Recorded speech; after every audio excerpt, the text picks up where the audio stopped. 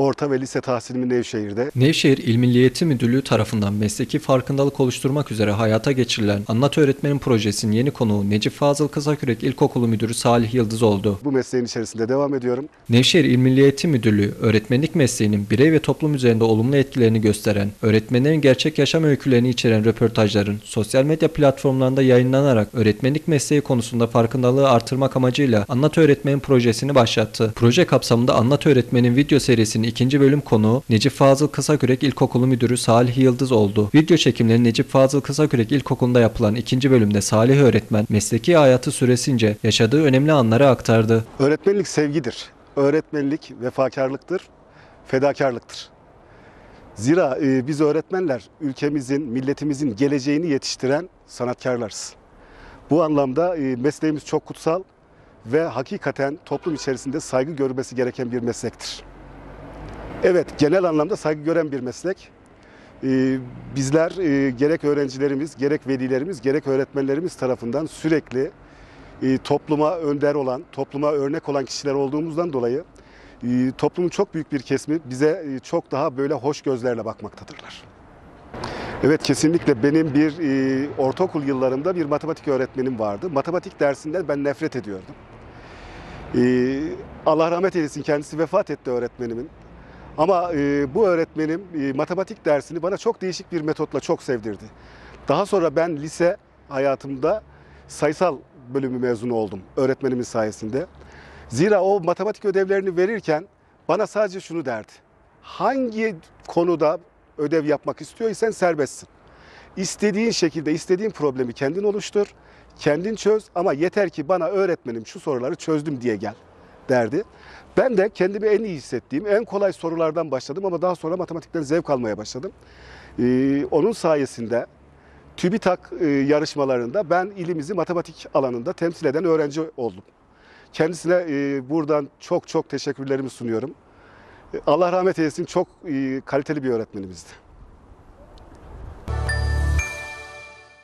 Evet kesinlikle basitten zora ve sevdirerek, dokunarak, öğrenciliğe dokunarak yapardı öğretmenimiz.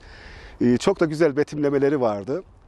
Ee, Bu sebepten dolayı e, öğretmenimiz hakikaten sadece bana değil sınıfımızın çok büyük bir bölümüne matematik dersini sevdirdi.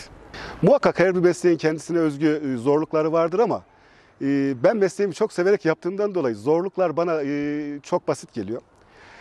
Karşılaştığım zorlukların nasıl olsa bir çözümünü bulabileceğimi düşünüyorum. Bu uğurda da gayret sarf ediyorum. Gayretlerimin neticesinde de zorluklar bir bir aşılıyor. Benim mesai kavramım yoktur. E, Zira e, zaten e, ilimizin ikili eğitim yapan tek okuldur. Sabah 7.30'da e, başlar, akşam 5.30'da öğrencileri dağıtmaya başlarız. Yaklaşık günlük 12 saat mesaimiz vardır. Bunun haricinde ihtiyaç duydukça her türlü çalışmada destek olmak amacıyla her yere gideriz. Bütün çalışmalarda ortak oluruz. Ben sınıf öğretmeniyim. Hocam çok özür diliyorum. Ee, Ben sınıf öğretmeniyim ama övülmek gibi olmasın sınıf öğretmeniyim. Sınıf öğretmenliği diğer branşlara göre biraz daha farklı bir branştır. Çünkü çocuğu yönlendiren kişi sınıf öğretmenidir. Kesinlikle hayır. Ee, Diğer branşlarda da yönlendirme vardır ama e, çocuk bize bir hamur şekliyle gelir.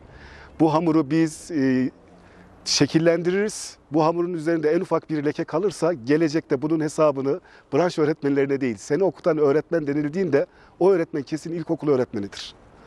İlkokul öğretmeni bu konuda sorumlu tutulur. Bu anlamda söylüyorum.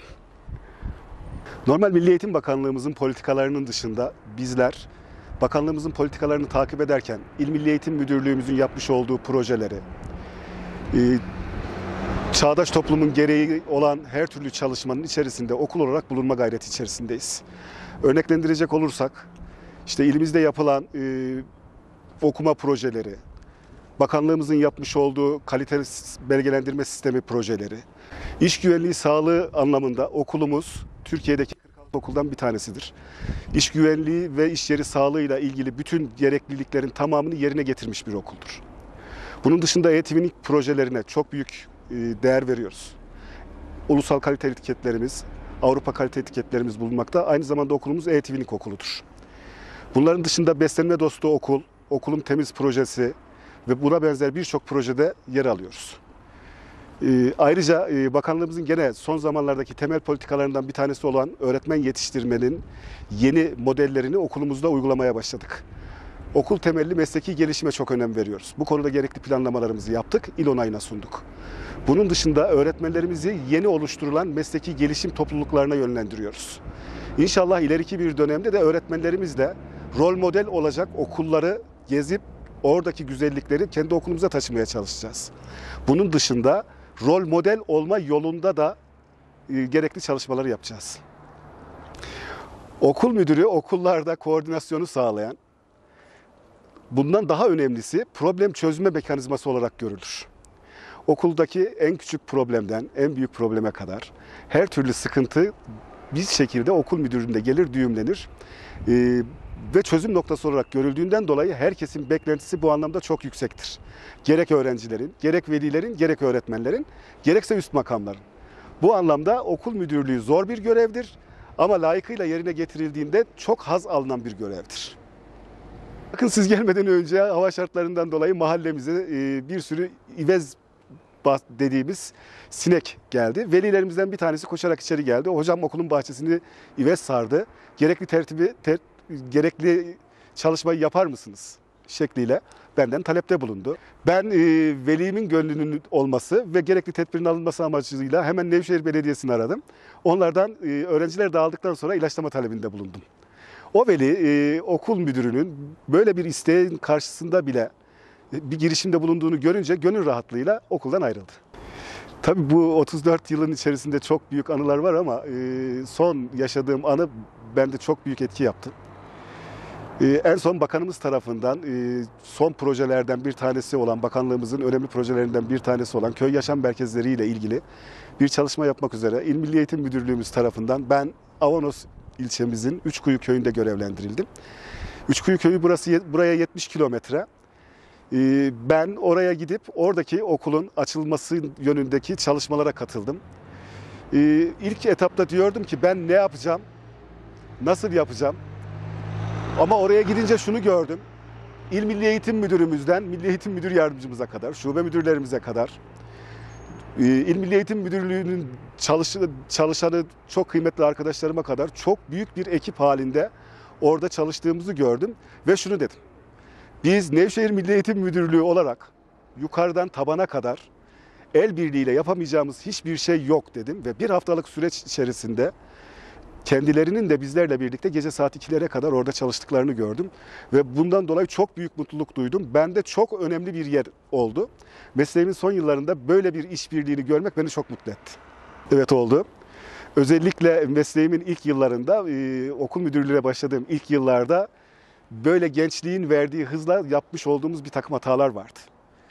E, Bir gün İstiklal Marşı'nda e, çocukları sıraya geçirdik ve İstiklal Marşı töreninde çocuklara işte herkesin e, rahat hazır ol komutundan sonra bayrağa bakması gerektiğini, dikkat komutundan sonra bayrağa bakması gerektiğini ve kıpırdamadan İstiklal Marşı'nı canlı ve gür bir sesle söylemeleri gerektiğini izah ettim.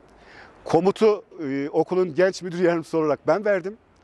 E, İstiklal Marşımız okunmaya başladı ama bu esnada 5. sınıflardan bir çocuk sürekli yerinde sayıyordu. Mevsim böyle Kasım ayının son günleriydi, sonbahar ve hava yağışlıydı. Yerlerde de su birikintileri vardı. Ben İstiklal Marşı'nın bitmesini sabırla bekledim. Zira çocuk bana göre İstiklal Marşı okunurken saygısızlık yapıyordu, yerinde sayıyordu. İstiklal Marşı biter bitmez çocuğa bir sürü e, söz söyledim. İstiklal Marşı'na niye saygısızlık yapıyorsun? Orada bayrak dalgalanırken sen ne diye yerinde durmuyorsun, kıpırdıyorsun falan filan. Çocuk hiç sesini çıkarmadı. Sadece ayağını kaldırdı ve ayağının altını gösterdi bana. Ayakkabısının altı delikti ve o çocuk su birikintisine basıyordu.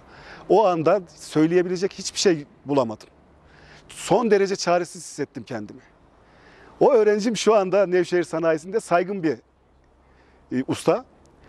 Ara sıra onu ziyarete gidiyorum. Tabii ben ondan sonra ondan helallik falan da aldım. Gerekli girişimleri de yaptık ama tabii e, o çocukla ilgili hemen e, gerekli e, çalışmaları yaptık. E, ailesiyle görüştük, e, sosyal yardımlaşmayla görüştük, e, gerekli tedbirler alındı ama daha hoş olanı şu, öğrencimiz e, saygın bir usta oldu Ve bu ustamız e, her yıl bana e, belirli dönemlerde kış mevsimi gelmezden önce hocam okulunuzda giydirilecek öğrenci var mı diye soruyor. Çok mutlu oluyorum ama o gün aklıma geldikçe ben hakikaten kahroluyorum. O günü hiç unutamıyorum. Kendimi o günden dolayı hiç affedemiyorum. Ama o gündür bugündür ön yargıyla veya sormadan hiçbir öğrencime hiçbir şekilde e, yanlış bir muamelede bulunmamaya çalışıyorum. Çocuklarımız çok çalışsınlar. Şunu bilsinler ki onlar bizim yarınlarımız ve geleceklerimiz. Öğretmenlerimize de diyorum ki biz yarınları imar eden kişileriz. Bugünkü bu çocuklar gelecekte bu ülkemizi yönetecek olan çocuklar. Bu çocuklarımızı lütfen heba etmeyelim. Onları iğneden ipliğe çok güzel bir şekilde donatıp hayata hazırlayalım. Her şeyden önemlisi onları iyi bir doktor, iyi bir mühendis, iyi bir usta, iyi bir sanatkar şekliyle yetiştirelim ama her şeyden önce onları iyi bir anne baba yetiş- olarak yetiştirelim ki onlar da kendinden sonraki gelecek nesilleri çok güzel yetiştirsinler.